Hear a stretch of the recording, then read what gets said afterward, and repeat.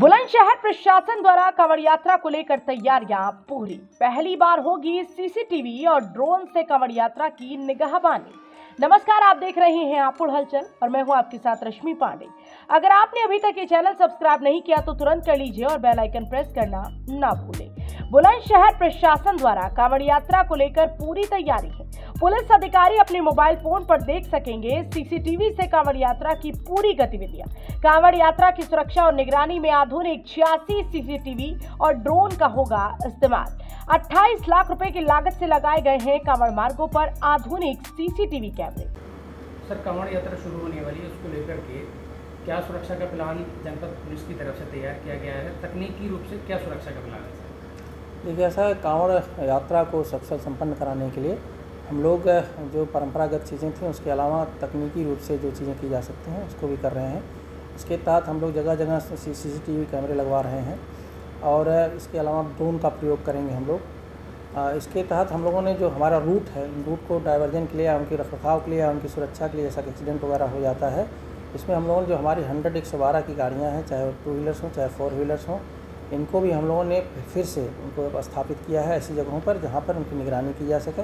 जैसे हमारे जो मेन मेन रोड उसमें हैं, उन रोडों के लिए हम लोगों ने एक कई पार्टों में विभाजित कर दिया है और उनकी लगातार निगरानी जो हमारी हंड्रेड टायर की गाड़ियाँ, एक सौ बारह की गाड़ियाँ हमारी हैं, वो लगातार उसकी निगरानी में रहेंगी और सतत वो मूवमेंट पे रहेंगे।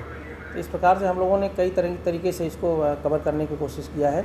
इसके अलावा हम लोगों ने जैसे जो हमारे कांवड़ संघ हैं या हमारे जो लोग शिविर लगाते हैं इनसे हम लोगों ने कुछ उनके स्वयंसेवक या एस के रूप में उनके नाम लिए हैं, जो इसमें सतत मदद करेंगे।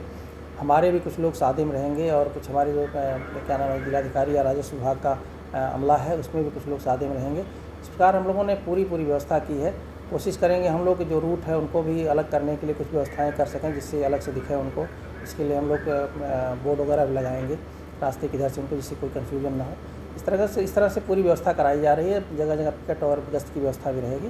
तो हम लोग पूरी तरह से मुस्तैद हैं कि सफल कांवड़ यात्रा को संपन्न कराया जाए। अच्छा सर सीसीटीवी जो लगाए जा रहे हैं उनकी तादाद कितनी है और किन स्थानों को सर चिन्हित किया गया है? तादाद के रूप में आप देखेंगे तो सीसीटीवी कैमरे हमारे अभी देखिए कोतवाली नगर में हम लोगों ने लगवाया है।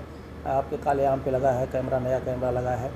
आपका अंसारी चौक पे नया कैमरा लगा है। और इसी तरह से अपर अपरकोट हमारा क्या नाम है, नक्सल घाट चौकी, वहाँ लगा है। थाने भी हम लोगों ने कैमरा लगाया है। अभी हम लोग, जो हमारा ये भूड़ चौराहा है, वहाँ पर भी हम लोग कैमरा लगा रहे हैं। हमारे पास कुछ पैसे पहले से सीसीटीवी कैमरे लगाने के लिए थे, उनका आज हम टेंडर की प्रोसेस करा रहे हैं।